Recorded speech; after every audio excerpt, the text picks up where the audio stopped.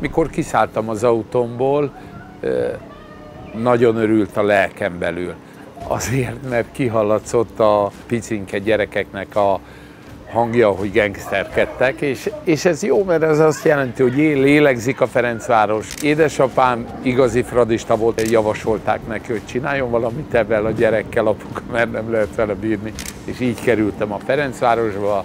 Én emlékszem, édesapám és édesanyám bátran odaadott az edzőknek. Azt tudnám mondani minden fiatalnak, vigyázzanak a testükre, mert 60 éves korban, 60 év fölött is ugyanannak a testnek kell hordozni esetleg a lelkét, és esetleg a szívét, a motorját a testnek.